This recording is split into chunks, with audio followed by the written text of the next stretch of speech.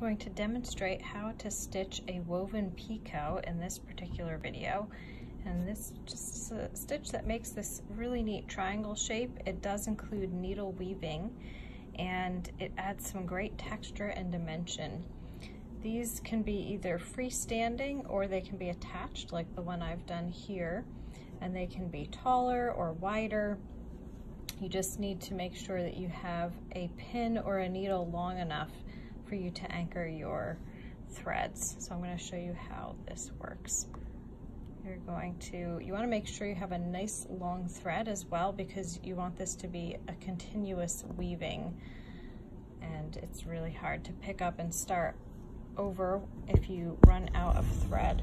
So you're gonna come up on one side of your needle and however your pin and however much of your pin is in your fabric. This is about the size of your picot. You're come up on one side and you're going to tuck your thread around your pin and come down the other. So the pin is basically gonna sit in the center of your picot.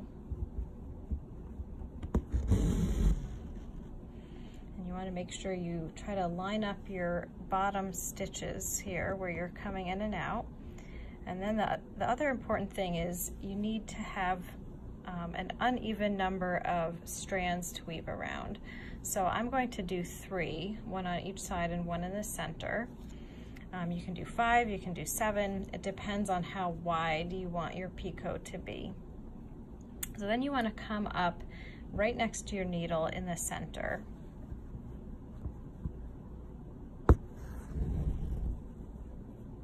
And you're going to wrap around your, your pin again, and then you're gonna start weaving. So you're gonna start by going underneath, and I'm gonna use the back of my needle to do this. Underneath, and then over, and then underneath again on one side. And then you're gonna go back the other way, going over, under, and over. So you're going to alternate back and forth. I kind of push my stitches, push my thread up as I weave back and forth. So each time you're, you're going to go in the opposite, over, under, over, and then under, over, under. You want to make sure you don't pull your thread too tight you can, it'll just change the shape of your picot and just try to push your, your weaving up so it uh, there's no holes in it.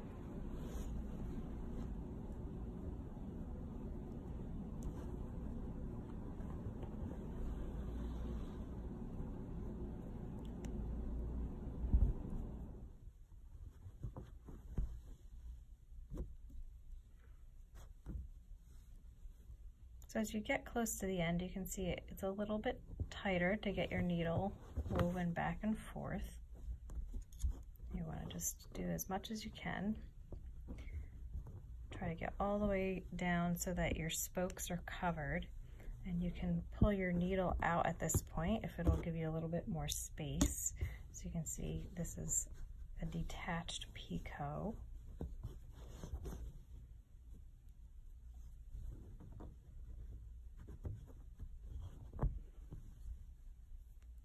Once you get all the way down, you're going to tuck your, your thread underneath to finish everything off. You can see why you need one long piece of thread to do this.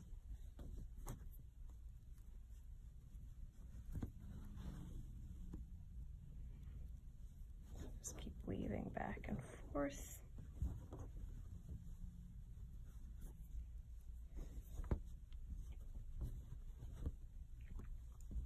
and when you are ready to finish,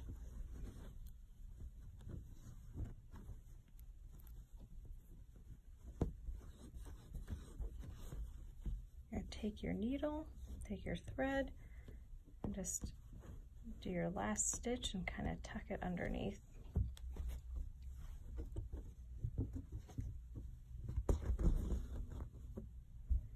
There's your picot.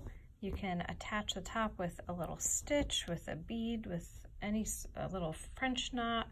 So there's a lot of possibilities and you can see this shape can be so many different things from um, leaves to petals to feathers on a bird.